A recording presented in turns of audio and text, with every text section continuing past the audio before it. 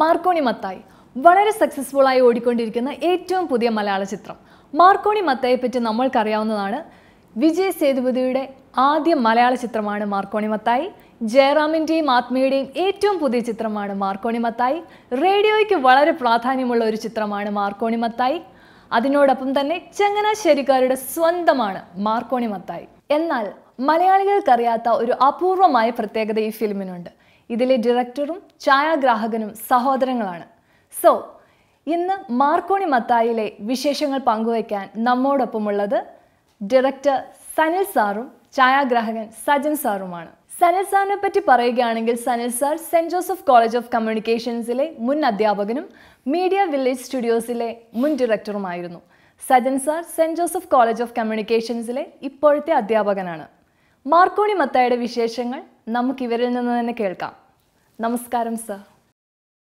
So ഈ കഥ എങ്ങനെയാണ് രൂപപ്പെട്ടതെന്ന് ഒന്ന് പറയാമോ സർ? കഥ രൂപപ്പെട്ടത് ഞാൻ രൂപപ്പെടുന്നതിന്റെ കാര്യം പറയണമെങ്കിൽ അതിന് കുറച്ച് മുമ്പ് കൂടെ പറഞ്ഞു ഞാൻ ആദ്യത്തെ സിനിമ ഉത്തര എന്ന സിനിമയാണ്. അത് ഒരു പതിനഞ്ച് വർഷം മുമ്പാണ് ഞാൻ ചെയ്യുന്നത്. അതിനുശേഷം അഡ്വർടൈസ്മെന്റ് ഫിലിം മേക്കിങ്ങിൽ വളരെ സജീവമായിട്ട് നിൽക്കായിരുന്നു അപ്പോൾ പല പല കഥകളും സിനിമയാക്കാൻ വേണ്ടി ആലോചിച്ചുകൊണ്ടിരുന്ന ഒരു ഇങ്ങനെ കടന്നു പോകാറുണ്ട്. പക്ഷേ ഒന്നിലും അങ്ങനെ തൃപ്തിയില്ലാതെ മുന്നോട്ട് പോകുന്ന അവസ്ഥയായിരുന്നു. അപ്പോൾ അങ്ങനെ ഇരിക്കെ ഒരു ദിവസം പല കഥകൾ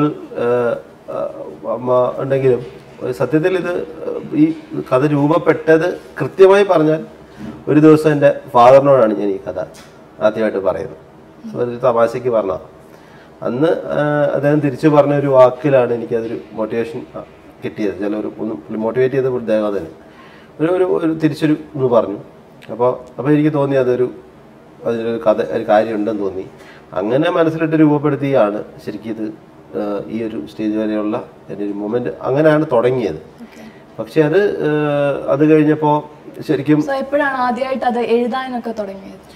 അല്ല രൂപപ്പെട്ടതിന് വളരെ കാലങ്ങൾക്ക് ശേഷമാണ്. സത്യത്തിൽ ഞാനത് മനസ്സിൽ രൂപപ്പെട്ടു കുറേ കുറേ വർക്ക് ചെയ്യുന്നുണ്ടായിരുന്നു. വർക്ക് ചെയ്ത് ഒരു ഒരു അപ്പോഴൊന്നും ഇപ്പോൾ പെട്ടെന്ന് അങ്ങനെ ഒരു സിനിമയിലോട്ട് ചെയ്യാൻ പറ്റുമെന്നൊന്നും അറിയില്ല. അപ്പം അങ്ങനെ നിൽക്കുമ്പോൾ എന്റെ ഒരു ഫ്രണ്ട് ഫ്രണ്ട് എന്റെ ഒരു ഒരു ചേട്ടന്റെ സ്ഥാനത്തുള്ളൊരു തങ്കച്ചായൻ എന്ന് പറഞ്ഞ മുളകപ്പാടം ഫിലിംസിന്റെ ഒക്കെ തലപ്പത്തുള്ള ഒരു തങ്കച്ചായൻ. തങ്കച്ചായനും തങ്കച്ചായനോടാണ് ഒരു പ്രാവശ്യം ഞാൻ ഈ കഥ പിന്നെ ഷെയർ ചെയ്യുന്നത്.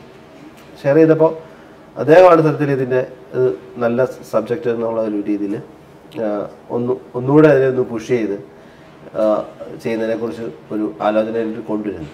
അതേസമയം തന്നെ എനിക്ക് ലാൽ സാറിനോട് മോഹൻലാലിനോട് ലാൽ സാറിനോട് പിന്നീട് ഞാൻ ഈ കഥ പറഞ്ഞു. കഥ പറഞ്ഞു ലാൽ സാർ ഭയങ്കര ഇൻട്രസ്റ്റോടു കൂടി കേൾക്കുകയും ഒത്തിരി അഭിപ്രായങ്ങൾ പറയുകയും ചെയ്തപ്പോഴാണ് സത്യത്തിൽ ലാൽ സാറ് കേട്ടതിന് ശേഷമാണ് പേന എടുത്ത് ഈ കഥ ഈ തിരക്കഥയൊക്കെ എഴുത്തിലേക്ക് പോകുന്നത് തന്നെ. അതുവരെ ഇത് മനസ്സിൽ മാത്രമായിട്ട് ഇങ്ങനെ ഉണ്ടായിരുന്നു കിടക്കായിരുന്നു ലാൽ സാറാണ് സത്യത്തിൽ എന്നെ കൊണ്ട് അത് എഴുതിക്കുന്നത്. അതിനുശേഷമാണ് പിന്നീടുള്ള എല്ലാ മൂമെന്റുകളും ഉണ്ടായത്. വർക്ക് എന്നുള്ള രീതിയിലോട്ട് ഒരു ഫുൾ ഫിനിഷ്ഡ് അവസ്ഥയിലോട്ട് എത്തുന്നതൊക്കെ അതിന് ശേഷമാണ്. ഓക്കെ അപ്പം എഴുതുമ്പോൾ തന്നെ അറിയാമായിരുന്നു ആരൊക്കെ ആ ഭാഗങ്ങളിൽ അഭിനയിക്കണമെന്ന്. അങ്ങനെയില്ല. അത് അത് മാറി പറഞ്ഞൊക്കെ വന്നു. ഞാൻ സാറിനോട് അതിനുശേഷം അതിലില്ല. അങ്ങനെ കൃത്യമായിട്ട് ഉണ്ടായിരുന്നില്ല. ഒന്ന് ഒത്തിരി കഥാപാത്രങ്ങളും എന്റെ ചുറ്റുപാടും ഉള്ളതും ഓ- ഓ എനിക്ക് പരിചയമുള്ളതും എനിക്ക് സ്വയം അറിയാവുന്നതുമായ ഒത്തിരി സംഭവങ്ങൾ അതിനുള്ളിലുണ്ട്. പ്രത്യേകിച്ച് എന്റെ ഫാദറിന്റെ ക്യാരക്ടറൊക്കെ അതിനകത്ത് കൃത്യമായി മൊത്തമായി ബിൽഡ് എന്നെ സഹായിച്ചിട്ടുള്ളതാണ്. വളരെ ശക്തമായിട്ട് എന്റെ ഫാദറിന്റെ ക്യാരക്ടറാണ് സത്യത്തിൽ ഈ റേഡിയോ ട്യൂൺ ചെയ്യുന്നത്. അദ്ദേഹത്തെ അദ്ദേഹത്തിന്റെ ഒരു അദ്ദേഹത്തിന് ഏറ്റവും ഇഷ്ടം പാട്ടുകളായിരുന്നു. അപ്പോൾ അദ്ദേഹമാണ് സത്യത്തിൽ വീടിന് മുകളിൽ ഈ നമുക്കിവിടെ റേഡിയോ കിട്ടില്ലായിരുന്നു. ഇപ്പോഴും എനിക്ക് തോന്നുന്നു ഇപ്പോൾ കിട്ടുന്നുണ്ടോയെന്നറിയില്ല അറിയില്ല. ആ സമയത്ത് റേഡിയോ ചങ്ങനാശ്ശേരിയിൽ റേഡിയോ മാംഗോ അല്ലെങ്കിൽ ഈ പറഞ്ഞ പോലെ കൊച്ചി എഫ് എം കിട്ടില്ലായിരുന്നു. അപ്പം അദ്ദേഹം ഇൻസ്പിറേഷൻ ഫാദറിന്റെ ക്യാരക്ടറും അദ്ദേഹത്തിന്റെ ക്യാരക്ടർ അദ്ദേഹത്തിന്റെ സ്വഭാവങ്ങളും എല്ലാം ഞാൻ അതിൽ അപ്ലൈ ചെയ്തിട്ടുണ്ട്. പ്രത്യേകിച്ച് റേഡിയോ ഒന്ന് റേഡിയോ ട്യൂൺ ചെയ്യുന്ന കാര്യത്തിൽ അത് കൃത്യമായിട്ട് അത് അദ്ദേഹം ചെയ്ത അതേ വിഷ്വൽ പോലെ ഉണ്ട്. പിന്നീട് ക്യാരക്ടറിന്റെ ക്യാരക്ടറിനെ ഒത്തിരി ഇൻസ്പയർ ചെയ്തിട്ടുണ്ട്. സ്വഭാവവും കാര്യങ്ങളും. ഈ റേഡിയോയെ ചുറ്റിപ്പറ്റി ഒരു ഫിലിം ഉണ്ടാക്കാൻ നിർമ്മിക്കാനും എഴുതാനും എങ്ങനെയാണത് തോന്നിയത്? പിന്നെ മനഃപൂർവം റേഡിയോയ്ക്ക് വേണ്ടിയിട്ട് അങ്ങനെ ഒരു പ്ലോട്ട് ഉണ്ടാക്കിയതല്ല. സത്യത്തിൽ ഇതിന്റെ ഇതിന്റെ ഇതിന്റെ ത്രെഡ് ഫോം ചെയ്യുന്നത് ശരിക്കും ഞാൻ പറഞ്ഞല്ലോ എന്റെ ഫാദറിന്റെ ക്യാരക്ടറിൽ നിന്ന് തന്നെയാണ്. അദ്ദേഹത്തിന്റെ ആറ്റിറ്റ്യൂഡുകളിൽ നിന്നാണ് അപ്പം നമ്മൾ വെച്ചാൽ വളരെ ഈസി ആയിട്ട് മറ്റേ റിലേഷൻസിനെ ഹാൻഡിൽ ചെയ്യുന്ന ഒരു സ്വഭാവം ഉണ്ട് അദ്ദേഹത്തിന് അതിൽ അത് വാച്ച് ചെയ്തിട്ടാണ് സത്യം ഞാൻ ഇത് ഈ ത്രെഡിലോട്ട് വരുന്നത്.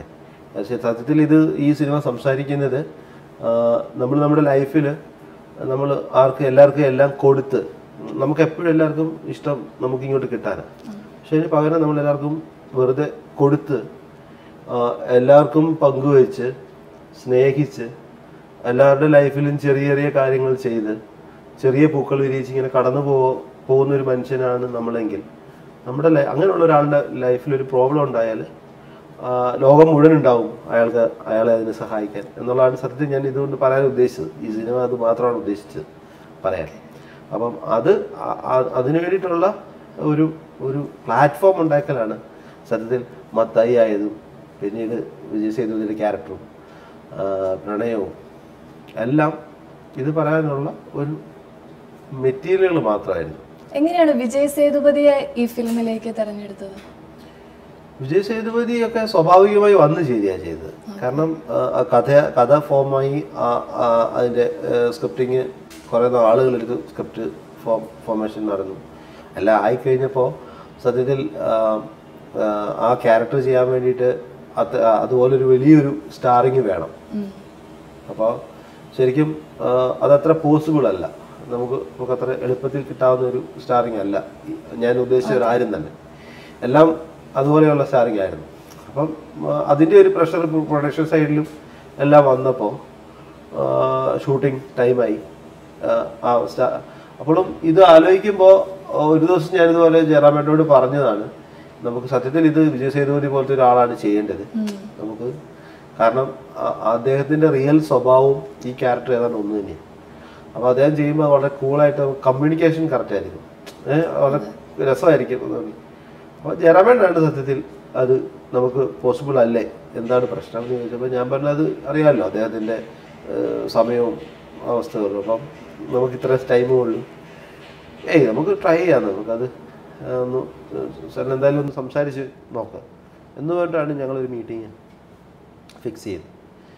പക്ഷേ മീറ്റിങ്ങിൽ ഇതുപോലെ ഒരു ഒരു ഒരു ഒരു ഓഫീസിൽ പുള്ളിയുടെ അദ്ദേഹത്തിന്റെ ഓഫീസിൽ വന്നിട്ട് ഇരിക്കുമ്പോൾ ആദ്യം തന്നെ സമയമില്ല എന്ന് തന്നെയായിരുന്നു നമുക്കറിയാവുന്നത്. അപ്പോൾ അദ്ദേഹം പറഞ്ഞത് തന്നെയാണ്. പക്ഷെ സ്റ്റോറി സ്റ്റോറിയിൽ നിന്ന് നമ്മൾ സ്ക്രീൻ പ്ലേ ഫുള്ളായിട്ടൊരു ഡിസ്കഷനിലേക്ക് പോയി. പോയി അതിന്റെ ഒടുവിൽ സത്യത്തിൽ ഞാൻ ഭാഷ പൂർണമായിട്ട് എനിക്കൊന്ന് മലയാളത്തിലേക്ക് സംസാരിച്ചത്. അപ്പോൾ അത് കഴിഞ്ഞപ്പോൾ എനിക്ക് ടെൻഷൻ ഞാനിത് പറഞ്ഞല്ലോ ഇദ്ദേഹത്തിന് മനസ്സിലായിരുന്നു ഞാൻ ഇദ്ദേഹമാണെങ്കിൽ ഒരു ബ്ലാ ഭയങ്കര ബ്ലാങ്കായിട്ട് ഇങ്ങനെ ഇരിക്കുന്നുണ്ട്. അപ്പോൾ ഞാൻ പറഞ്ഞത് സാർ എന്തെങ്കിലും മനസ്സിലായോ? പെട്ടെന്ന് സോറി സാർ എന്നുകൊണ്ട് പുള്ളി എന്നോട് തിരിച്ച് ആ ഫുൾ സ്റ്റോറി ഞാൻ പറഞ്ഞാലും മനോഹരമായിട്ട് എന്നോട് തിരിച്ചു പറഞ്ഞു. അപ്പോൾ എന്നിട്ട് എന്നോട് പറഞ്ഞു ഇതിന്റെ നമുക്ക് ഇതിന്റെ പാർട്ടാവണം എനിക്ക് ഭയങ്കരമായിട്ട് ഇഷ്ടമായി ഈ വളരെ സിമ്പിൾ നിറട്ടിയിരിക്കുന്ന രീതി ടോട്ടൽ പ്രോജക്റ്റിനോട് എനിക്ക് ഇഷ്ടമുണ്ട് ഇതിന്റെ പാർട്ടാവാൻ വേണ്ടി ഞാൻ വരാം എന്ന് പറഞ്ഞൊരു വാക്കിലാണ് സത്യത്തിൽ അദ്ദേഹം വന്നത്. അതിന് ഒരു നന്മയുടെ ചാനലേ നമ്മൾ സംസാരിക്കുന്നത് മുഴുവനും ഒരേ സ്വഭാവത്തിലുള്ള ആളുകളോടായതുകൊണ്ട് അതെല്ലാം അങ്ങ് സംഭവിച്ചു പോയതാണ്. സോ ഇതിന്റെ ഛായാഗ്രഹണം അല്ലെങ്കിൽ സിനിമാറ്റോഗ്രാഫി നിർവഹിച്ചിരിക്കുന്നത് സാറിന്റെ സ്വന്തം സഹോദരൻ സജൻ കളത്തൽ സാറാണ്. സോ സാറിനെ പറ്റി പറയുകയാണെങ്കിൽ നമ്മളുടെ മറ്റു സിനിമാറ്റോഗ്രാഫേഴ്സിനൊന്നും ഇല്ലാത്ത ഒരു നല്ല പ്രത്യേകതയുണ്ട്. അതായത് പൂനെ ഫിലിം ഇൻസ്റ്റിറ്റ്യൂട്ടിൽ നിന്ന് ഗോൾഡ് മെഡൽ വാങ്ങിയാണ് സാറ് സക്സസ്ഫുൾ ആയിരിക്കുന്നത്. സോ ആ ആ എക്സ്പീരിയൻസും ഒക്കെ ഈ ഫിലിമിൽ ഉപയോഗിക്കാൻ പറ്റിയിട്ടുണ്ടോ നന്നായിട്ട്? തീർച്ചയായിട്ടും നന്നായിട്ട് ഉപയോഗിക്കാൻ പറ്റിയിട്ടുണ്ട്. പിന്നെ ഈ ഫിലിമിന് ഇപ്പോൾ ഈ പറഞ്ഞ നമ്മളൊരു ഫാമിലി ലവ് സ്റ്റോറി എന്നാണ് പറയുന്നത്. അപ്പം അതുകൊണ്ട് തന്നെ വലിയൊരു സ്റ്റൈലൈസ്ഡ് വിഷ്വൽസ് ഒന്നും വേണ്ട എന്നുള്ളൊരു ധാരണ ഉണ്ടായിരുന്നു ആദ്യം. സ്റ്റൈലൈസ്ഡ് എന്ന് വിചാരിച്ചാൽ ഇപ്പോൾ ഒരു അങ്ങനെ ഒരു സ്റ്റൈലൈസ്ഡ് വിഷ്വൽസ് പക്ഷേ അപ്രോച്ച് ചെയ്യുമ്പം ഭയങ്കര ബുദ്ധിമുട്ടുമായിരുന്നു. കാരണം അതിന്റെ ഡീറ്റെയിലിങ്ങിലേക്ക് പോകണം. ഒരു നമ്മളിപ്പോൾ ഒരു റിയൽ റിയൽ ലൈഫ് പോർട്രേ ചെയ്യുമ്പോഴും റിയാലിറ്റി റിയാലിറ്റിയേക്കാളും കൂടുതൽ കുറച്ച് ഗ്ലാമറൈസേഷൻ അതിനെ ഫീൽ ചെയ്യാത്ത രീതിയിൽ സട്ടിലായിട്ട് കൊടുക്കാനായിട്ടാണ് ശ്രമിച്ചത്. അപ്പോൾ അതിൽ വിജയിച്ചു. സട്ടിലിറ്റി ഉണ്ട്. എന്നാൽ അത്യാവശ്യം ഗ്ലാമറൈസ്ഡ് ആണ്.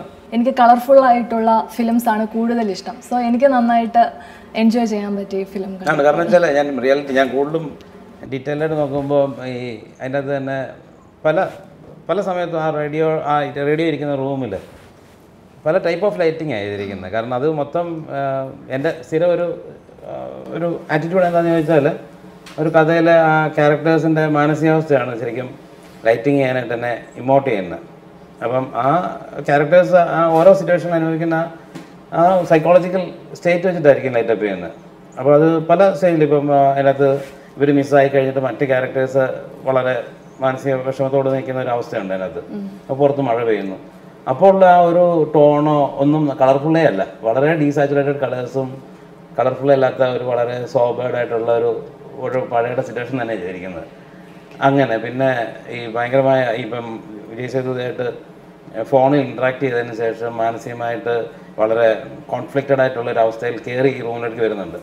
അവിടെയാണെങ്കിൽ ഈ ക്യാരക്ടറിന്റെ മുഖത്ത് കണ്ടമാനം ഷാഡോസ് തന്നെ ഇട്ടിട്ടുണ്ട്. ഡെലിബറേറ്റ് ഷാഡോസ് ഇടുക ചെയ്ത് അവരുടെ ഒരു ഒരു ബ്യൂട്ടി എക്സ്പ്ലോയിറ്റ് ചെയ്യാതെ. പക്ഷേ ഇങ്ങനെയുള്ള ഡീറ്റെയിലിംഗ് ആണ് ഞാൻ ശരിക്കും കഥയ്ക്കകത്ത് ചെയ്തത്. പക്ഷേ എനിവേ അത് കൊമേഴ്ഷ്യലായിട്ട് ആയതുകൊണ്ട് കുറച്ച് കളർഫുൾ ആകണമെന്ന് ആഗ്രഹം ഉണ്ടായിരുന്നു. പക്ഷേ ഇനി ആൾക്കാർ കളർഫുള്ളായിട്ട് പറയുന്നുണ്ട് സന്തോഷം. മാർക്കോണി മത്തായി ഫിലിമിൽ ചങ്ങനാശ്ശേരിയുടെ പല ഭാഗങ്ങളും കാണാമല്ലോ. സോ ഇത് യാദൃച്ഛികമായിട്ട് സംഭവിച്ചതാണോ? അതോ സിനിമ എഴുതുമ്പോഴേ അത് പ്ലാൻ ചെയ്തായിരുന്നോ? ചങ്ങനാശ്ശേരി തന്നെ ഫിലിമിൽ വേണമെന്ന്. ചങ്ങനാശ്ശേരിയുടെ സെലക്ഷൻ വളരെ സ്വാഭാവികമായിട്ട് അത് സംഭവിച്ചതാണ് കാരണം സ്റ്റോറി അത് ഞാൻ സ്റ്റോറി ലൈൻ മനസ്സിൽ വന്നപ്പോൾ ഒരു ഒരു ടൗൺഷിപ്പ് ഒരു പൗരാണികതയുള്ള എന്നാൽ പൗരാണികത നിലനിൽക്കുന്ന അങ്ങനെ അങ്ങ അങ്ങനെയുള്ളൊരു ടൗൺഷിപ്പ് വേണം. അത് സത്യത്തിൽ അത് ക്രിയേറ്റ് ചെയ്യാനായിട്ട് ആദ്യം തന്നെ മനസ്സിൽ വേണ്ടത് ചങ്ങനാശ്ശേരി തന്നെയാണ്. കാരണം എനിക്ക് തോന്നുന്നത് ഫോർട്ട് കൊച്ചിയൊക്കെ പോലെ ആ കാലഘട്ടത്തിലെ അതേപോലെ തന്നെയുള്ള കൺസ്ട്രക്ഷനും രീതികളും ഒക്കെ ഉള്ളത് അതേ സ്വഭാവത്തിലുള്ള ഒരു സ്ഥലമാണ്. ഫോട്ടോ ചെയ്യാൻ പിന്നെ നമുക്ക് ആ ഒരു സ്വഭാവം. അങ്ങനെയുള്ളതിനേക്കാട്ടിലും കുറച്ചുകൂടെ ആരും ഉപയോഗിക്കാതെ എന്നാൽ ഫ്രെയിംസ് എങ്ങനെ ഫ്രെയിംസ് വെച്ചാലും ഭയങ്കരമായ ബ്യൂട്ടി ഉള്ള ഒരു സ്പേസ് ആണ് ചങ്ങനാശ്ശേരിയുടെ ഞങ്ങൾ ഷൂട്ട് ചെയ്തിരിക്കുന്ന ആ ബോട്ടിയെട്ടി ആ ഏരിയ എന്ന് പറഞ്ഞാൽ ഏത് ആംഗിളിൽ ഷോട്ട് വെച്ചാലും ഭയങ്കര ഡിഫറെന്റ് ആയിട്ടുള്ള ഫ്രെയിംസും അപാര സാധ്യതയുള്ളൊരു സ്പേസ് ആണത് അപ്പോൾ ഞാൻ സത്യത്തിൽ ഒരു കഥ ഫോമായി കഴിയുമ്പോൾ ഇതിന്റെ എല്ലാ ചിന്തകളും ഞാൻ ഞാൻ ആ ബോട്ടിട്ടി പോയിരുന്നിട്ടാണ്. ബോട്ടിട്ടിയുടെ മൂലയ്ക്ക് ഒരു സ്ഥലമുണ്ട്. അവിടെ പോയി ഇരുന്ന് ഈ സ്ഥലം നോക്കിക്കൊണ്ട് തന്നെയാണ് ഞാൻ അത് മുഴുവനും വർക്ക് ചെയ്തിട്ടുള്ളത്. കാരണം ഓരോ മൊമെന്റിലും ആ സ്ഥലം കൃത്യമായി ഐഡന്റിഫൈ ചെയ്ത് തന്നെയാണ് മുഴുവൻ വർക്ക് ചെയ്തിട്ടുള്ളത്. അത് ഒരു ഘട്ടത്തിലും അത് മാറ്റേണ്ടതിനെ കുറിച്ച് ചിന്തിക്കേണ്ടി വന്നിട്ടില്ല. കാരണം ഓരോ ഓരോ പ്രാവശ്യം ആലോചിക്കുമ്പോഴും സാധ്യതകൾ വളരെ അധികമാണ് അത് ശരിക്കും ഉപയോഗിക്കാനും പറ്റിയിട്ടുണ്ട് സിനിമയിൽ.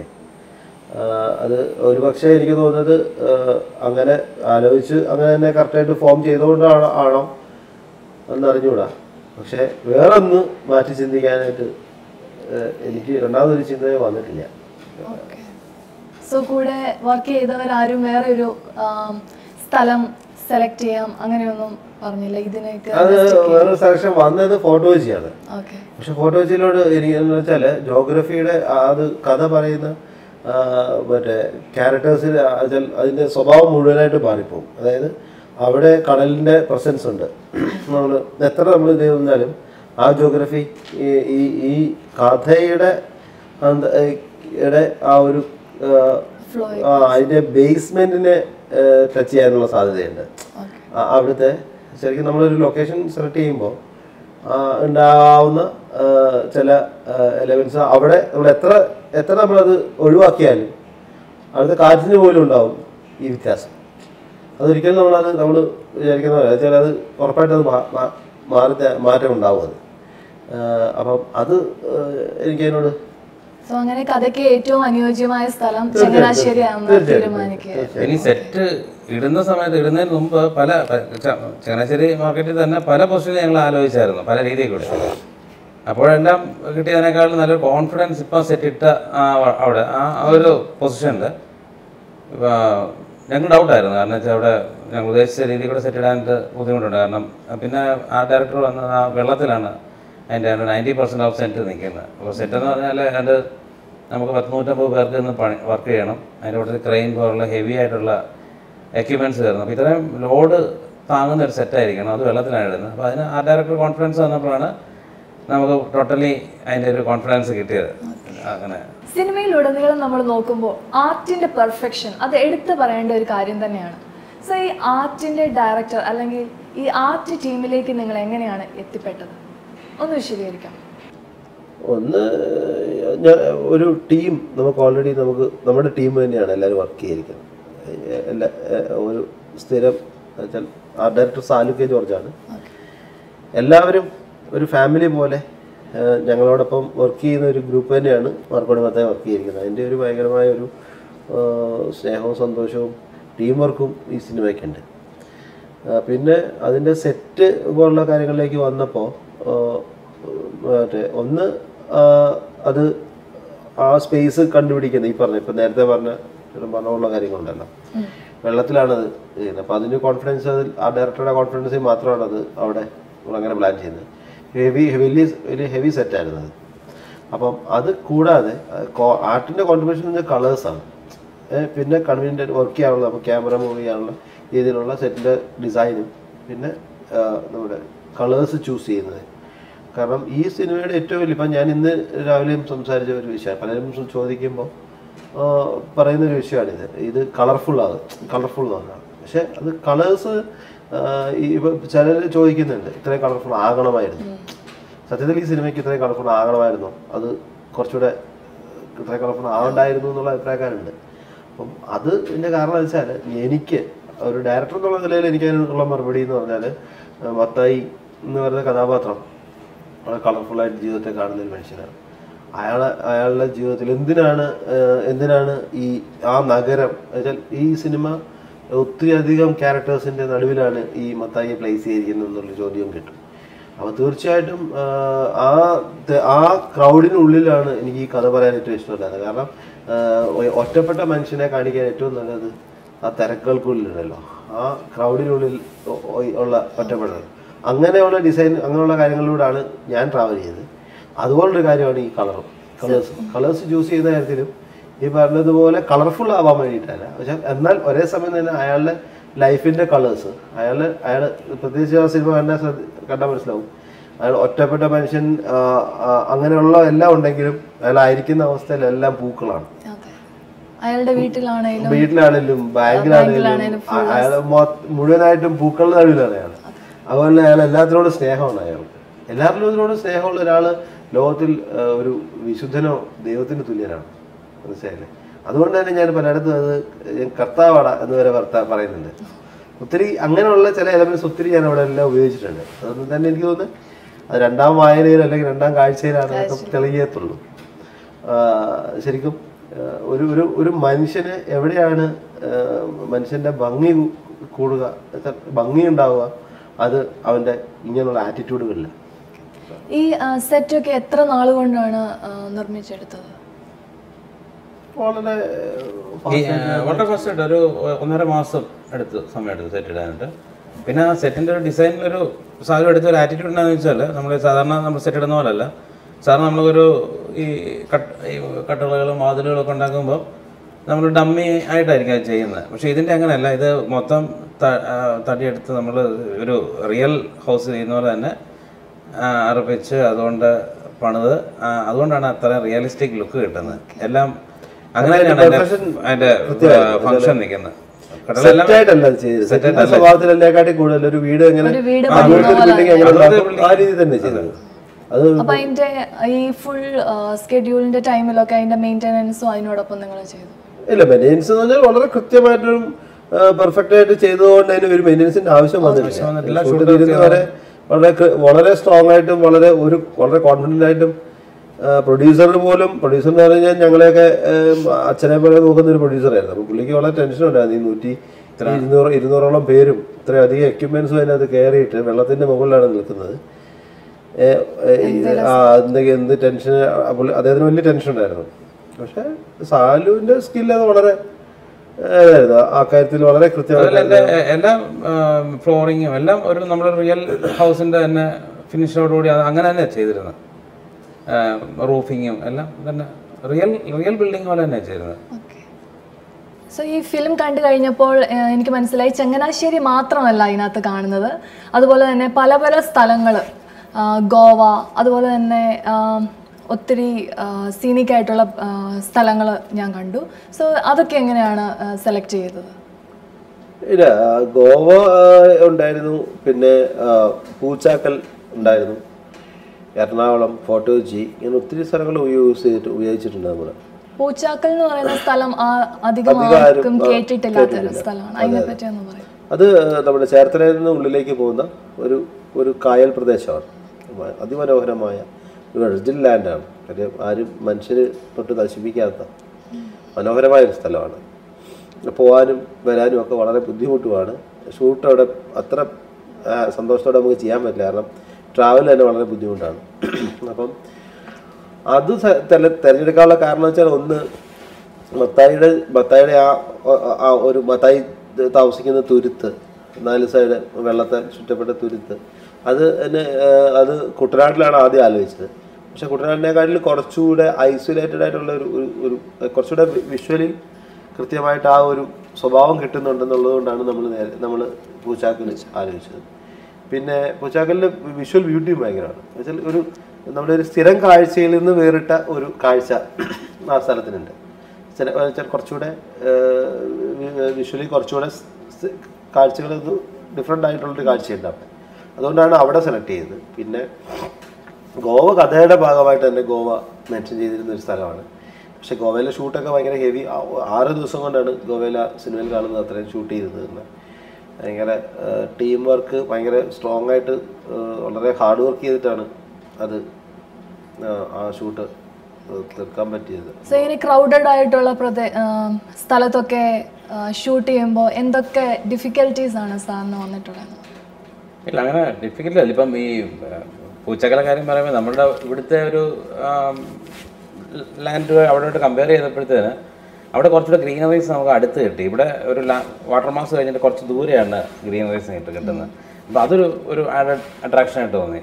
പിന്നെ പിന്നെ ഈ പടത്തിന് തന്നെ ഒരു ഏറ്റവും ടഫ് ഷൂട്ട് ചെയ്യാൻ പോകുമ്പോൾ എനിക്ക് ഏറ്റവും കൂടുതൽ ടഫായിട്ടുണ്ടായിരുന്നത് നമ്മൾ കൂടുതലും നൈറ്റ് സീൻസ് ആണ്. അത് ഈ കായൽ ഏരിയയിലാണ് അപ്പം റിയൽ എല്ലാ പടത്തിലും കാണുന്ന പോലെ ഒരു റിയൽ നൈറ്റുമായിട്ട് അപ്രോച്ച് ചെയ്ത് കഴിഞ്ഞാൽ നമുക്ക് കായലിന്റെ കായലിന്റെ ഒരു ഭംഗി നമുക്ക് പിക്ചറൈസ് ചെയ്യാൻ പറ്റത്തില്ല ആ ആത്മീയും ജയറാമും തമ്മിലുള്ള ആ പാട്ടൊക്കെ പിന്നെ അല്ല അത് ഈ നൈറ്റ് സീൻസ് ഷൂട്ട് ചെയ്യാൻ വളരെ ഒത്തിരി കഷ്ടപ്പെട്ട് ഷൂട്ട് ചെയ്താണ്.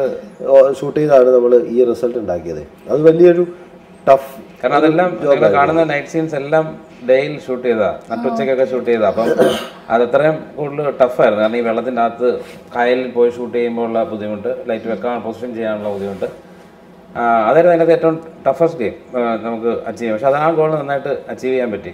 അതാണ് ഒരു മെറിറ്റ് അതിനൊരു വലിയ ഗുണം ചെയ്താൽ ഒന്ന് നമ്മൾ പലതും മാജിക് ഓവറിലൊക്കെ ഷൂട്ട് ചെയ്യാൻ വേണ്ടി ഒരു ഡെസ്കിലൊക്കെ ഷൂട്ട് ചെയ്യാൻ വേണ്ടിയുള്ള ഭയങ്കരമായിട്ട് അത് ഇപ്പം നേരത്തെ നമ്മൾ പറഞ്ഞ പോലെ കുറച്ച് കൂടുതൽ ആർട്ടിസ്റ്റും എല്ലാവരും വെൽ നോൺ ആർട്ടിസ്റ്റും ഒരു ഒരു അതൊരു ഒരു ഭയങ്കര ടെൻഷൻ സഹായമാണ് അതിനകത്ത് കുറച്ചുകൂടെ ഏറ്റവും കൂടുതൽ സപ്പോർട്ട് ചെയ്തത്. കാരണം കാരണം കുറച്ച് നേരിട്ട് കുറച്ച് കിട്ടുന്ന കുറച്ച് സമയം യൂട്ടിലൈസ് ചെയ്യാനായിട്ട് നമ്മൾ തയ്യാറാണ്. പക്ഷെ ഇത് ഈ കോർഡിനേഷൻ ഉണ്ടല്ലോ ആർട്ടിസ്റ്റുകൾ അതിനോട് അവരുടെ അവരുടെ ടൈമിങ്ങും കാര്യങ്ങളും എല്ലാം പക്ഷെ ഏറ്റവും വലിയൊരു ടീം വർക്ക് കിട്ടിയത് ആ സമയങ്ങളിൽ ഈ ആർട്ടിസ്റ്റുകൾ എല്ലാവരും ഞങ്ങൾ ഓടുന്ന പോലെ ഓടി ഒന്നും നോക്കാതെ പെട്ടെന്ന് തന്നെ ആ ടൈമിനുള്ളിൽ ഇന്ന ഇന്ന ഷോർട്സ് എടുക്കണം നിർബന്ധമാണെന്ന് ഉള്ള ഞങ്ങളുടെ ഇതുപോലെ തന്നെ എല്ലാവരും ഒരുമിച്ച് നിന്ന് വർക്ക് ചെയ്തുകൊണ്ടാണ് ആ സമയത്ത് അത് കറക്റ്റായിട്ട് ഷൂട്ട് ചെയ്ത് ആ റിസൾട്ട് ഉണ്ടാക്കാൻ പറ്റിയത്.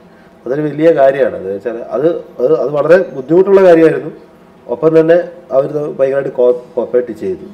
ജോയിച്ച ജോയിച്ചേട്ടൻ ജോയി ചേട്ടൻ ടിന്നി ചേട്ടൻ നമ്മുടെ ജയറാമേട്ടൻ എല്ലാവരും ആ ഫസ്റ്റ് സോങ് എന്നാ പറയാനാന്നുള്ള സോങ്ങിനകത്ത് കുറെ അധികം ആർട്ടിസ്റ്റിനെ കാണാം. സോ അവരുടെയൊക്കെ കോർഡിനേഷൻ അല്ലെങ്കിൽ അവരുടെയൊക്കെ ഡേറ്റ്സ് എങ്ങനെയാണ് ഒത്തുകിട്ടിയത് ആ പാട്ടിനകത്ത് തന്നെ കുറെ അമ്മച്ചിമാരും എല്ലാം ഒക്കെ ഇൻക്ലൂഡ് ചെയ്തിട്ടുണ്ട്. അമ്മച്ചിമാരെല്ലാരും തന്നെ അത് ഞാൻ നിർബന്ധമായിട്ടും ചെന്നൈയിൽ നിന്ന് അവരെല്ലാം റിട്ടയർ ആയിട്ടുള്ള ഡാൻസേഴ്സ് ആണ്. ചെന്നൈ ബേസ് അവരെല്ലാം പഴയ ഡാൻസേഴ്സ് ആണ്. അതെനിക്ക് നിർബന്ധമായിരുന്നു അവർ വന്ന് വേണം ഡാൻസ് ചെയ്യാൻ എന്നുള്ളത് അത് പ്രസന്ന മാസ്റ്ററിനോട് കൃത്യമായി പറഞ്ഞിട്ട് അദ്ദേഹം അത് കോർഡിനേറ്റ് ചെയ്ത് അതിമനോഹരമായിട്ടാണ് അവർ ചെയ്തിരുന്നത്. അതിന്റെ ഒരു ഭംഗിയുണ്ട് അത് ചെയ്ത ആ ടീമിന്റെ പിന്നെ ആർട്ടിസ്റ്റിന്റെ കോർഡിനേഷൻ എന്ന് വെച്ചാൽ ആ ഷൂട്ടിന് നാല് നൈറ്റ് അല്ലേ നാല്. ഫുൾ ഫുൾ നൈറ്റ് ഷൂട്ടായിരുന്നു വൈകുന്നേരം രണ്ട് മണി ഉച്ചയ്ക്ക് രണ്ട് മണി തുടങ്ങി സെറ്റ് ചെയ്യാൻ തുടങ്ങിയാൽ പിന്നെ ഏർലി മോർണിംഗ് വരെ ഷൂട്ട് പോകും. അങ്ങനെ ഷൂട്ട് ചെയ്ത് നാല് നാല് ദിവസം ഷൂട്ട് ചെയ്താണ് ആ ഒരു സോങ് അപ്പം അതിൽ ആർട്ടിസ്റ്റ് എല്ലാം അതുപോലെ അതുപോലെ നമ്മൾ കോപ്പറേറ്റ് ചെയ്യാൻ ഫുൾ ടീം അതുപോലെ നിൽക്കുക എന്ന് പറയുന്നത് എത്ര സ്കെഡ്യൂളായിട്ടാണ് ഇത് ഷൂട്ട് ചെയ്തത്? ഷെഡ്യൂൾ ശരിക്കും പറഞ്ഞാൽ ഷെഡ്യൂൾ ബ്രേക്ക് അങ്ങനെ വന്നിട്ടില്ല. അത് ആ ഗോവൻ ഷെഡ്യൂളാണ് ഷെഡ്യൂളായിട്ടുണ്ടായിരുന്നത് പിന്നെ ചങ്ങനാശ്ശേരി ഷൂട്ട് കഴിഞ്ഞ് സ്ട്രേറ്റ് ഫുൾ ഷൂട്ടിങ് സാധാ- സാധാരണ സിനിമ തുടങ്ങി ലാസ്റ്റൊക്കെ ക്ലൈമാക്സ് ഷൂട്ട് ചെയ്യാം. ഞങ്ങൾ ആദ്യം ക്ലൈമാക്സ് ഷൂട്ട് ചെയ്തിട്ടാണ് സിനിമയിലേക്ക് വരുന്നത്. ആദ്യം ഷൂട്ടാണ് ആദ്യം വരുന്നത്. ഇപ്പം നിങ്ങൾ രണ്ടുപേരുടെയും കാര്യം നോക്കുകയാണെങ്കിൽ നേരത്തെ സിനിമ ചെയ്തിട്ടുള്ളവരാണ് നിരവധി ആഡ് ഫിലിംസ് ചെയ്തിട്ടുള്ളവരാണ് അപ്പോൾ ഈ രണ്ട് മേഖലയിലെയും പരിചയമുള്ളതുകൊണ്ട് മാർക്കോണി മത്തായി എന്ന ഫിലിമിനെ എങ്ങനെയാണ് നോക്കിക്കാണുന്നത്? അഡ്വർടൈസ് ഫിലിം ഇപ്പം ഒരു ഡയറക്ടർ എന്നുള്ള രീതിയിൽ ഞാൻ പറഞ്ഞു. ഇപ്പം ക്യാമറ എന്നുള്ള രീതിയിൽ മറ്റൊരു അഭിപ്രായമായിരിക്കും ചേട്ടനുണ്ടാവുക. പക്ഷെ ഡയറക്ടർ എന്നുള്ള നിലയിൽ രണ്ട് രണ്ട് ഭാഷയാണ്. ഒരു ഒരു അഡ്വർടൈസ്മെന്റ് ഫിലിം ഷൂട്ട് ചെയ്യുന്ന ഭാഷയിൽ ഒരിക്കലും ഒരു ഫിക്ഷൻ ഒരു കഥ പറയാൻ പറ്റില്ല. അത് പറ പറയരുത്. എന്നാൽ പറയണം. അതായത് അത് അതിനുള്ള സ്വാതന്ത്ര്യമുണ്ട്. അതിനുള്ള ആ സ്വാതന്ത്ര്യം അധികം എടുക്കാനും പാടില്ല. കാര്യം ഈ സിനിമയിൽ തന്നെ അത് അത് ഇപ്പം ഒന്ന് ആഡ് ഫിലിം ചെയ്യുന്ന ഭാഷ അത് നമ്മൾ എൻജോയ് ചെയ്യുന്ന അത് അത് അതായിട്ട് മാത്രം എൻജോയ് ചെയ്യുക സ്റ്റോറി പറയുമ്പോൾ അത് അതായിട്ട് മാത്രം കാണുക. രണ്ട് രണ്ട് ഭാഷയാണ്. രണ്ട് രണ്ട് ആറ്റിറ്റ്യൂഡാണ് പക്ഷേ പക്ഷേ ചില സ്ഥലങ്ങളിൽ ഇപ്പം നമ്മുടെ മാർക്കോണി മത്തായി തന്നെ ഞാനത് അപ്ലൈ ചെയ്തിട്ടുണ്ട്. മാർക്കോണി മത്തായിയുടെ ഫസ്റ്റ് ഹാഫിൽ സിനിമ സംസാരിക്കുന്ന ഭാഷയല്ല സെക്കൻഡ് ഹാഫ് സംസാരിക്കുക. സെക്കൻഡ് ഹാഫിൽ ഞാൻ ഒരു അഡ്വർടൈസിംഗ് ഫിലിം മേക്കറുടെ സ്വഭാവം ഞാൻ ഇടയ്ക്കൊക്കെ കാണിച്ചിട്ടുണ്ട്. അത് അത് ആ ആ കഥയുടെ ആ സന്ദർഭങ്ങളിൽ ഉള്ള ആ- രീതിയിലുള്ള ഒരു കൈകടത്തലാണ്. അത് അത് ആവായിരിക്കാം അത് അത് ഡിപ്പെൻസ് സബ്ജക്റ്റാണ് പക്ഷേ ടോട്ടലായിട്ട് ഒരു ഒരിക്കലും നമുക്ക് അത് അത് അത് ചെയ്യാം. ഒരു ഒരു ആഡ് ഫിലിമിൽ നമ്മൾ ഷോട്ട് വയ്ക്കുന്നത് അതിന്റെ കാഴ്ച വരെ നമ്മൾ കറക്റ്റ് ആയിരിക്കും. അതായത് ഒരു ഷോട്ട് വയ്ക്കുമ്പോൾ ഓഡിയൻസ് എവിടെ നോക്കണം എന്ന് കൃത്യത ഒരു മേക്കർക്കില്ലെങ്കിൽ അത് പാടും. ഒരു ഷോർട്ടിൽ ഈ ഈ ആഡ് ഈ ആഡിലെ ഓരോ ഷോട്ടിലും നമ്മൾ എവിടെ ആയിരിക്കണം? കാണുന്ന ഓഡിയൻസിന്റെ അല്ലെങ്കിൽ പ്രേക്ഷകരുടെ കാഴ്ച എവിടെ പോകണമെന്ന് മുൻവിധിയോടെ തന്നെ ഒരു ഫിലിം മേക്കർ ഷോട്ട് പ്ലാൻ ചെയ്യാൻ. പക്ഷേ അതേ അതേ അതേ ചിന്ത ഒരു സിനിമ ചെയ്യുമ്പോൾ ചിലയിടങ്ങളിലൊക്കെ നമുക്കത് അത് നമ്മുടെ ഒരു എന്താണ് ഇതൊരു കൈവഴക്കം പോലൊക്കെ ഉപയോഗിക്കാമായിരിക്കാം. പക്ഷെ അതേപോലെ നമ്മൾ ഇതിൽ അപ്ലൈ ചെയ്യാൻ പറ്റില്ല. കാരണം നമ്മൾ ഇവിടെ ഒരു ജീവിതമാണ് അല്ലേ ഇതൊരു ഒരു ജീവിതമാണ് നമ്മൾ പറയുക. മറ്റ് അതെന്ന് പറയുന്നത് ഇപ്പോൾ അഡ്വർടൈസ്മെന്റ് ഫിലിം മേക്കർ എന്ന് പറഞ്ഞാൽ അതൊരു വേറൊരു പ്രോസസ്സാണ് ഇപ്പോൾ കുറച്ചുകൂടെ സത്യസന്ധമായിട്ട് പറഞ്ഞാൽ കുറച്ചുകൂടെ അഡ്വർടൈസ് ഫിലിം മേക്കിങ്ങിന് കുറച്ചുകൂടെ അതിന്റെ ഒരു ആറ്റിറ്റ്യൂഡ് കുറച്ചുകൂടെ കൊമേഴ്സ്യലൈസ് ചെയ്തപ്പെട്ട ഒരു നമ്മളൊരു ഒരു ഒരു ആറ്റിറ്റ്യൂഡ് മാത്രമാണ് പക്ഷെ ഇത് കുറച്ചുകൂടെ വെർജിനാണ് കുറച്ചുകൂടെ വെർജിൻ അപ്രോച്ച് കുറച്ചുകൂടെ കുറച്ചുകൂടെ ഈ വെർജിനെന്നോ അല്ലെങ്കിൽ കുറച്ചുകൂടെ സെയിൻലി എന്നോ കുറേ കുറേ വാക്കുകൾ ചിലപ്പോൾ അതിൽ ഉപയോഗിക്കേണ്ടി വന്നേ. കുറച്ചുകൂടെ വേറെ ഒരു വേറൊരു സ്വഭാവമുണ്ടേ. രണ്ട് രണ്ട് തന്നെയാണ്. ടോട്ടലി രണ്ട് തന്നെയാണ്. പക്ഷേ നമ്മുടെ ഒരു ഒരു മേക്കറുടെ ആ കഴിവെന്നല്ല എനിക്ക് പറയാ. നമ്മളിപ്പോ നമ്മളിപ്പോ കുക്ക് ചെയ്യുമ്പോ ഇപ്പൊ എന്തെങ്കിലും ഒരു ഇപ്പൊ മുളക് ഇട്ടു എല്ലാം ഇട്ടു. ഇതെല്ലാം ഇത് കൃത്യമായിട്ട് ഇട്ട് കഴിഞ്ഞാൽ ഇത് റിസൾട്ട് അറിയാം. പക്ഷെ നല്ല സ്കിൽഡായിട്ടുള്ള അമ്മച്ചിമാരെ. കുറച്ചുകൂടി എടുത്തിടും. അല്ലെങ്കിൽ കുറച്ച് കുറച്ചിടും. അത് അവരുടെ അതാണ് അവരുടെ സ്കില്ല്. അങ്ങനെ ഉപയോഗിക്കാം അത്ര മാത്രം. അത് അത്രയാവും സാറിന്റെ എക്സ്പീരിയൻസ് പറഞ്ഞാൽ ഇപ്പം ഡയറക്ടോറിയലായിട്ട് രണ്ട് ഭാഷയാന്ന് പറഞ്ഞു. ശരിക്കും സിനിമാറ്റോഗ്രാഫിയിലും രണ്ട് ഭാഷ തന്നെയാണ് കാരണം ഒന്ന് ഞാൻ ഇപ്പോൾ പറഞ്ഞ പോലെ നമ്മളൊരു ഒരു സ്ക്രിപ്റ്റ് എഴുതുമ്പോൾ അതിന്റെ അകത്തുനിന്ന് ആ ഒരു കഥ പറയുന്ന ആ ഒരു മൂഡ് അതായിരിക്കും നമ്മൾ ഫീച്ചർ ഫിലിം ചെയ്യുമ്പോൾ നമ്മൾ പ്രയോറിറ്റി കൊടുക്കുന്നത്. അതുപോലെ എന്താ പറഞ്ഞ പോലെ ആ അത് അപ്പോൾ ആക്ട് ചെയ്യുന്ന ആ ക്യാരക്ടേഴ്സിന്റെ സൈക്കോളജി അതായിരിക്കും നമ്മളെ ഡ്രൈവ് ചെയ്യുന്ന റൈറ്റപ്പിനും കളറിങ്ങിനും എല്ലാം ആ ഫ്രെയിം സെറ്റ് ചെയ്യാനായിട്ട്. പക്ഷേ അഡ്വർടൈസ്മെന്റ് ആണെങ്കിൽ നേരെ മറിച്ചാൽ നമ്മൾ ആർക്ക് ഇത് സെൽ ചെയ്യാൻ പോകുന്നു? അവരെ അവർ അവരുടെ പോയിന്റ് ഓഫ് വ്യൂവിൽ അവരെ അട്രാക്ട് ചെയ്യാനായിരിക്കും നമ്മൾ കളർ സെറ്റ് ചെയ്യുന്നതും ലൈറ്റപ്പ് സെറ്റ് ചെയ്യുന്നത്. കാരണം ഒരു ഇപ്പോൾ കിഡീഷായിട്ടുള്ള ഒരു ഐസ്ക്രീം വേണ്ടി ഷൂട്ട് ചെയ്യുമ്പോൾ അതിന് വേണ്ട ഒരു ഫ്ലവേഴ്സ് ആഡ് ചെയ്യും. അല്ലെങ്കിൽ ഇപ്പോൾ ജ്വല്ലറിക്ക് വേണ്ടി ഒരു മച്ചുവേർഡ് ആയിട്ടുള്ളൊരു ജ്വല്ലറി ഡയമണ്ട് അട്രാക്റ്റഡ് ആയിട്ട് ചെയ്യണമെങ്കിൽ ആ ഓഡിയൻസിന് അത്ര മച്ചുവേർഡ് ആയിട്ടുള്ള ഒരു ലേഡീസിനെ അട്രാക്ട് ചെയ്യുന്ന രീതിയിൽ അങ്ങനെയൊക്കെ അതിന്റെ ട്രീറ്റ്മെന്റ് പോകുന്നത് അപ്പം ടോട്ടലി എന്റെ ഭാഷ രണ്ട് തന്നെ പിന്നെ ഇപ്പം ഈ പടത്തിന് കളർഫുൾ എന്ന് പറയുന്നതിനകത്ത് അഡ്വർടൈസ്മെന്റ് ചെയ്യുന്നതിന്റെ ഒരു ഒരു വർഷങ്ങളായിട്ട് അഡ്വർടൈസ്മെന്റ് ചെയ്തുകൊണ്ടിരിക്കുന്നതിന്റെ ഒരു ഫ്ലേവർ ഫീസറിനോട് ആഡ് ചെയ്തുകൊണ്ടാണ് ആൾക്കാർ ഈ കളർഫുൾ എന്ന് പറയുന്ന ഒരു വേർഡ് അവരുടെ വായിൽ നിന്ന് വരുന്നത്. കാരണം എത്ര ഡീറ്റെയിൽ ആയിട്ട് പോയാലും അതിനകത്ത് ഇപ്പം നമ്മൾ അഡ്വർടൈസ്മെന്റ് ഏറ്റവും മോശം സാധനം നമ്മൾ പ്രസന്റ് ചെയ്യുമ്പോൾ അത് ഭയങ്കര ഭംഗിയായിട്ട് കാരണം ഇതൊരു ഒരു പ്രാവശ്യം അല്ല ഒരാളാണ് കാണുന്നത്. ഒരു വർഷത്തിലൊരു വളരെ അധികം ടൈം ഒരാളുടെ മുമ്പിൽ കൂടി ഈ വിഷ്വൽ പോകും. അപ്പോൾ വളരെ മോശമായിട്ടുള്ള സാധനമാണെങ്കിൽ അത് വളരെ ടേസ്റ്റി ആയിട്ടും വളരെ ഭംഗിയായിട്ടും ആ മോശം തന്നെ കാണിച്ചാലേ അത് ഫങ്ഷനിലാകത്തുള്ളൂ അപ്പോൾ അങ്ങനെ ചെയ്ത് വരുന്ന ഒരു രീതിയുണ്ട്. ആണ് ഇതിന്റെ കളർഫുൾനെസ്സുമായിട്ട് അപ്രോച്ചും അത് ഇതിനകത്ത് ഒരു ഫോർ എക്സാമ്പിൾ പറയുകയാണെങ്കിൽ ഇതിനകത്തൊരു ജയറാമേട്ടൻ ഒരു ചൂൽ തട്ടി താഴെ ഇടുന്നുണ്ട്. അപ്പോൾ ആ ചൂൽ പുള്ളി ആർപ്പോടുകൂടി പിക്ക് ചെയ്യുന്നുണ്ട്. ആ പിക്ക് ചെയ്യുന്നത് ശരിക്കും അതിനകത്ത് ഷൂട്ട് ചെയ്തിരിക്കുന്ന ഒരു ഗ്ലാസിന്റെ ഒക്കെ ഇടയിൽ കൂടെ. ഒരു ഒരു ഒരു ഫ്രോസ്റ്റഡ് ഒരു ഒരു സ്റ്റൈലൈസ്ഡ് വിഷ്വലാണ് അപ്പോൾ അതൊക്കെയാണ് അതിലെ ആൾക്കാർ കളർഫുള്ളായിട്ട് കാണുന്നത് പക്ഷെ അത് അതാണ് അതിന്റെ സൈലൈസേഷൻ മാർക്കോണി മത്തായി ഒരു കുടുംബചിത്രമാണ്. നിങ്ങളെ സംബന്ധിച്ചും ഇതൊരു കുടുംബചിത്രമാണ്. സോ ഈ ബന്ധം ഫിലിമിനെ എങ്ങനെയാണ് സഹായിച്ചത്? അത് ഏറ്റവും കൂടുതൽ ഞാൻ ഫേസ് ചെയ്യുന്ന ഒരു ചോദ്യമായിരുന്നു. എല്ലാ ഇന്റർവ്യൂസിലും ഉള്ളൊരു ചോദ്യം. എപ്പോഴും ഒരേ മറുപടി തന്നെയാണ് എപ്പോഴും അതിനുള്ളത്. അത് അതൊരു വലിയ ഭാഗ്യമാണെന്ന് അത് ഒരു പക്ഷേ എനിക്ക് തോന്നുന്നത് ഒരു കുറച്ചുകൂടി ഇമോഷണലായിട്ട് പറഞ്ഞാൽ ഒരു ഒരു തരത്തിൽ പറഞ്ഞാൽ എന്റെ മമ്മി എപ്പോഴും പറയുന്നൊരു ഒരു കാര്യമുണ്ട്. നിങ്ങളെപ്പോഴും ഒരുമിച്ചുണ്ടാവണമെന്ന് അത് ഒരു പക്ഷേ മമ്മിയുടെ ആ ഒരു ആഗ്രഹത്തിന് ദൈവം കൊടുത്ത ഒരു ഒരു ഒരു സ്പെഷ്യൽ ഗിഫ്റ്റ് ആയിരിക്കും ഒരുമിച്ച് വർക്ക് ചെയ്യാനുള്ള ഈ സ്പേസ് എന്നുള്ളത്. അപ്പം അത് കൂടാതെ വർക്കിൽ അത് ഗുണം ചെയ്യുന്നത് ഞാൻ ഓൾമോസ്റ്റ് ഞാനിപ്പം ഏത് സ്റ്റോറി ആണെങ്കിലും ഇപ്പോൾ ആഡ് ആണെങ്കിലും സ്റ്റോറി ഇത് ഏത് എന്ത് മനസ്സിൽ വന്നാലും ഉടനെ തന്നെ ചേട്ടനോട് അത് ഷെയർ ചെയ്യും. അപ്പോൾ പുള്ളി അതിപ്പോൾ പറയടാ അത് ഒരു സുഖമില്ല ചേട്ടാ എന്ന് പറഞ്ഞാൽ ഞാൻ അവിടെ കൊണ്ടത് ഓഫ് ചെയ്യും. അത് നല്ല പിന്നെ വലിയ ബലം കൊടുക്കാറില്ലായിരുന്നു. അത് ആ ഒരു രീതിയിൽ ഈ പ്രോജക്റ്റിലോട്ടാണെങ്കിൽ ഏതിലോട്ട് വരുമ്പോഴും അത് അങ്ങനെ അങ്ങനെയുള്ള ഒരു അവിടുന്ന് അത് ഡെവലപ്പ് ചെയ്യുമ്പോൾ ഒരേ സമയം തന്നെ ഇദ്ദേഹത്തിന്റെ മനസ്സിലും അത് ഡെവലപ്പ് ചെയ്തുകൊണ്ടിരിക്കുകയാണ് വർക്ക് ചെയ്തുകൊണ്ടിരിക്കുകയാണ്.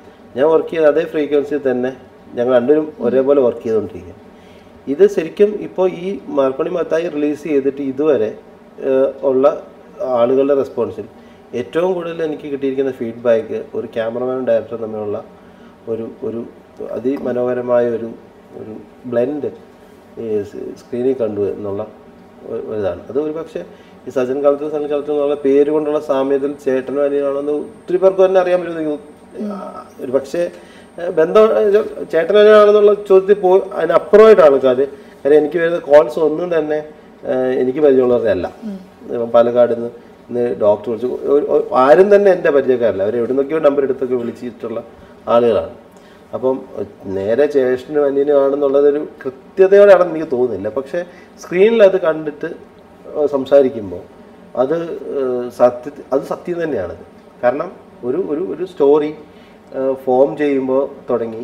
അതായത് സ്ക്രീനിൽ എന്റെ ഫൈനൽ വരെ ഒരുമിച്ച് ചിന്തിക്കാൻ പറ്റുക.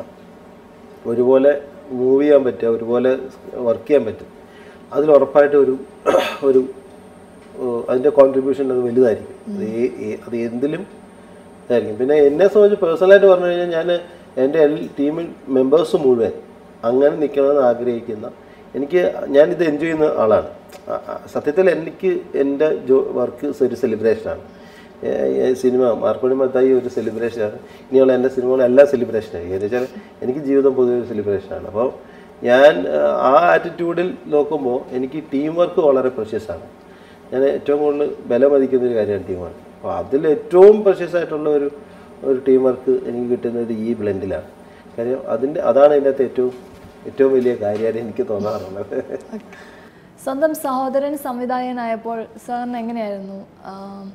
ക്യാം മീൻസ് വർക്ക് ചെയ്യാൻ ഉള്ള ഒരു സാഹചര്യം ഒരുക്കി ഇതിന് മുമ്പ് ചെയ്ത പടമാണ് ഉത്തര.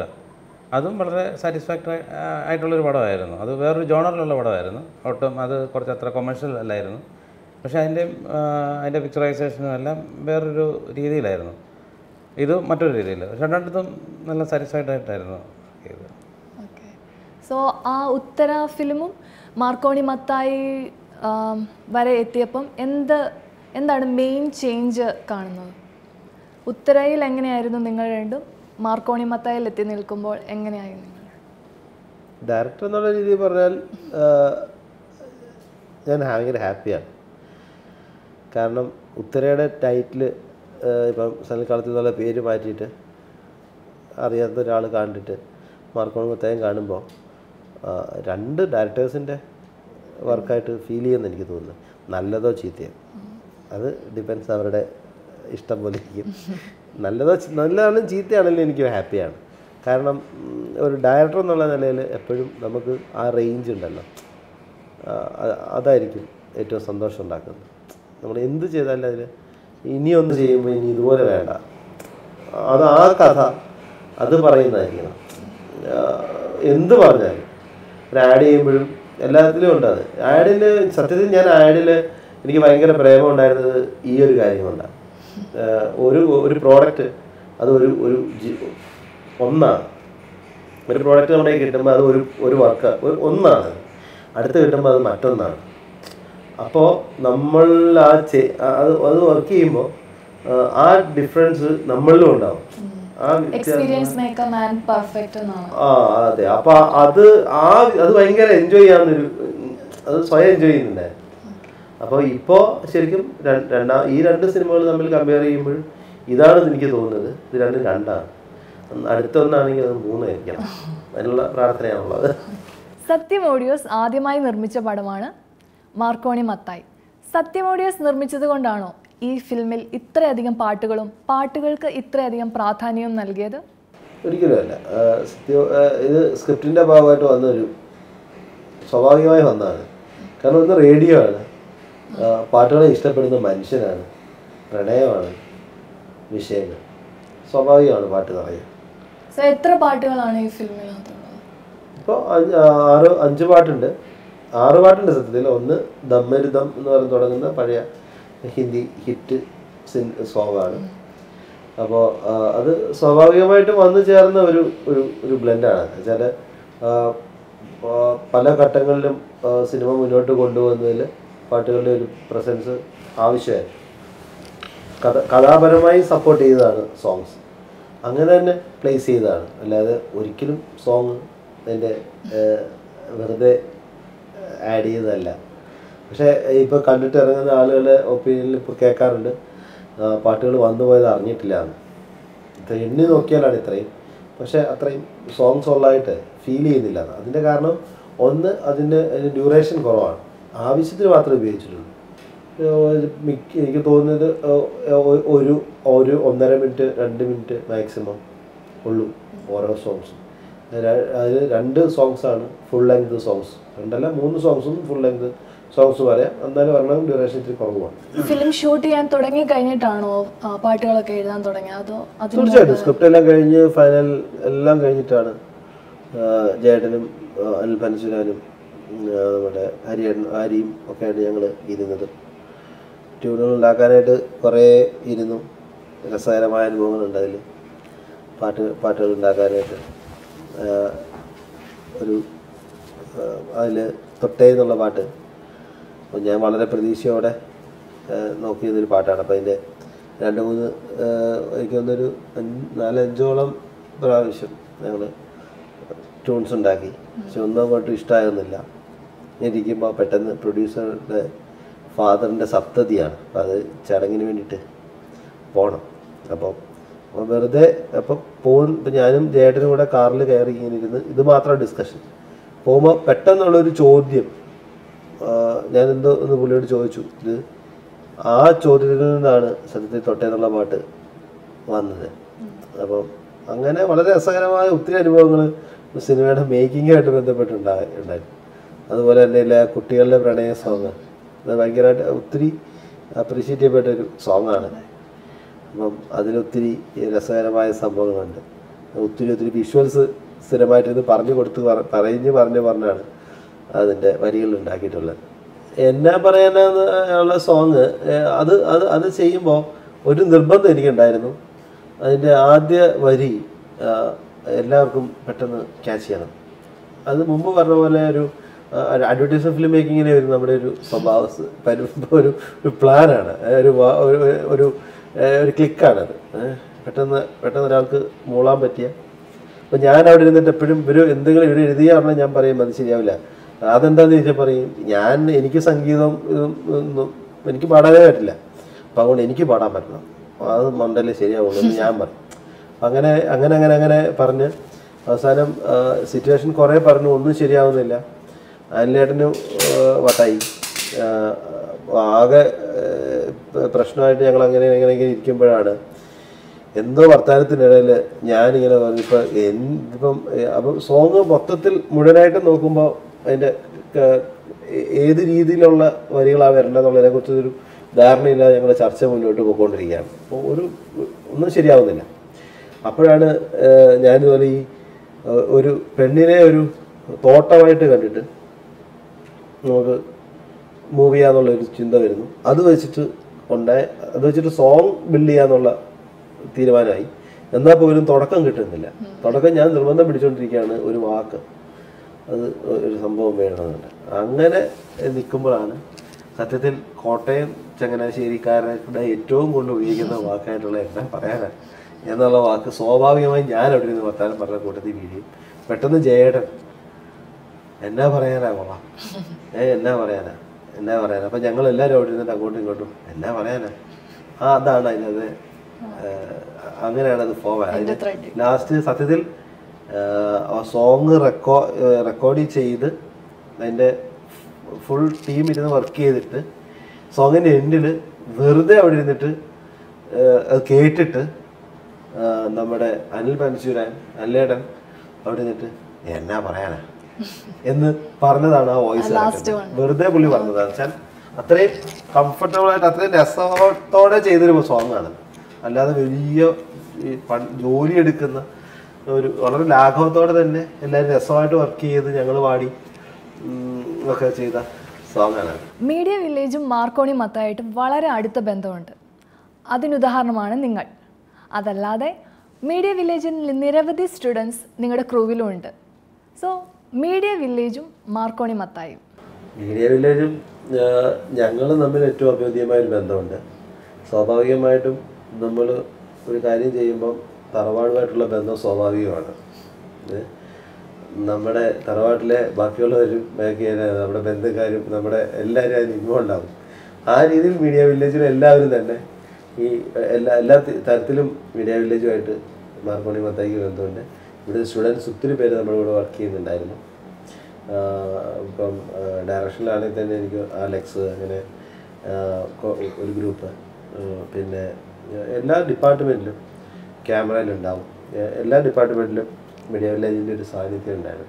തീർച്ചയായിട്ടും മീഡിയ വില്ലേജ് കോൺട്രിബ്യൂട്ട് ചെയ്യുന്നത് പുതിയ ടാലന്റുകളെയാണ് അതുകൊണ്ട് തന്നെ അവർക്കുള്ള അവർ അവർ ഈ സ്പേസിലേക്ക് വരികയും പിന്നീട് അവർ വളരുകയും അവർ വലിയ വൃക്ഷങ്ങളാവുകയും ചെയ്യുന്നതാണല്ലോ. എല്ലാവരുടെ ഏറ്റവും വലിയ സന്തോഷം എന്ന് പറയുന്നത്. ആ, ആ, അങ്ങനെ ഒരു സ്പേസ് ഉണ്ടാവുക എന്നുള്ളതാണ്. അതിന് കാരണമാവുക നമ്മുടെ വർക്കുകൾ പിന്നെ മീഡിയ വില്ലേജിന്റെ തണൽ എന്ന് പറയുന്നത് വലിയ കാര്യമാണ്. ഇവിടുത്തെ ഫെസിലിറ്റീസ് ഇവിടുത്തെ നല്ല ഫാക്കൽറ്റി ഇതെല്ലാം. ആ സപ്പോർട്ടെല്ലാം തന്നെ വർക്കുമായിട്ട് ബന്ധപ്പെട്ട് ഗുണകരമാവുന്നു എന്നുള്ളതാണ് കറക്റ്റ് മാർക്കോണി മത്തായി ഇപ്പോൾ കേരളത്തിലാകെ സക്സസ്ഫുൾ ആയിട്ട് ഓടിക്കൊണ്ടിരിക്കുകയാണ്. ഇനിയും അത് മുന്നോട്ട് പോകട്ടെ എന്ന് ആശംസിക്കുന്നു. അതിനോടൊപ്പം തന്നെ നിങ്ങൾക്ക് രണ്ടുപേർക്കും ഇനിയും കൂടുതൽ ചിത്രങ്ങൾ ഒരുമിച്ച് സംവിധാനവും ഛായാഗ്രഹണവും ചെയ്യാനുള്ള ആശംസകളും നേരുന്നു. ഇത്രയും നേരം ഞങ്ങളോടൊപ്പം ചിലവഴിച്ചതിന് താങ്ക് യു. താങ്ക്സ്.